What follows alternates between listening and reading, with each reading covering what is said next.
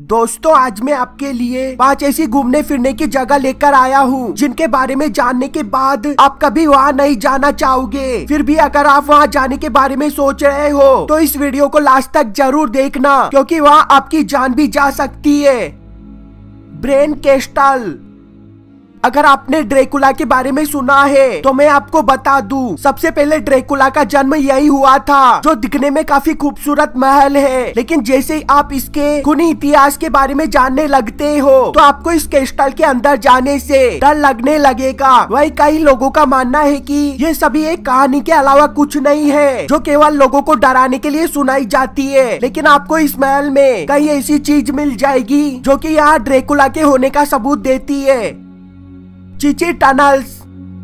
Vietnam के एक शहर में मौजूद ये टनल करीबन 120 किलोमीटर लंबी है, जिसे वियतनाम के फ्रीडम फाइटर मिलिट्री का सामान पहुँचाने के काम में लिया जाता था, जो कि साइज़ में इतनी पतली है कि कई बार लोग इसमें फंस कर दम घुटने की वजह से मर जाते इतना ही नहीं, बल्कि इसे बनाते समय लोगों को काफ़ी ज़्यादा डरावनी मकड़ियों का सामना करना पड़ता था। लेकिन आज के समय में ये टनल काफ़ी फ़ेमस टूरिस्ट डेस्टिनेशन बन चुकी है, जहाँ लोगो को उन्नीस सौ साठ के वो हथियार भी देखने को मिलते हैं, जिन्हें युद्ध के दौरान काम में लिया गया था।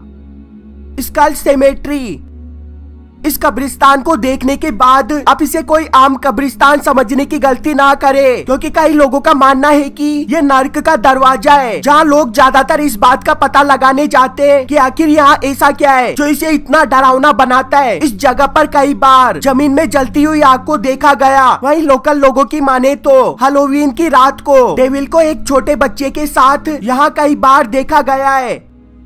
चोइंग वन 1970 में इस जगह पर एक कम्युनिस्ट लीडर ने हर पाँच में से एक कम्बोडियन नागरिक को मार डाला था, जहाँ पर कमज़ोर लोगों का जाना मना है। वैसे तो कम्बोडिया में कई और ऐसी जगह है जहाँ लोगों को क्रूरता से मारा गया, लेकिन इसके अंदर का इतिहास इसे और भी ज़्यादा लोकप्रिय बना देता है।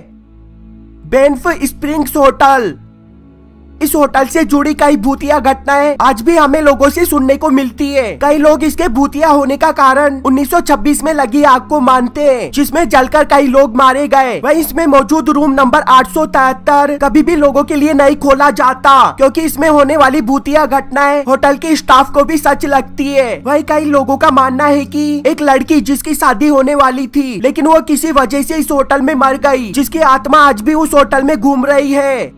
दोस्तों, मुझे इस वीडियो को बनाने में काफ़ी मेहनत लगी, पर आपको इसे लाइक करने में सिर्फ़ एक सेकंड लगेगा। इसीलिए वीडियो को ज़रूर लाइक कर दे और वीडियो के नीचे एक लाल बटन है, उस पर क्लिक कीजिए और सब्सक्राइब कीजिए। वीडियो देखने के लिए धन्यवाद। प्लीज़ सब्सक्राइब करना मत भूलना।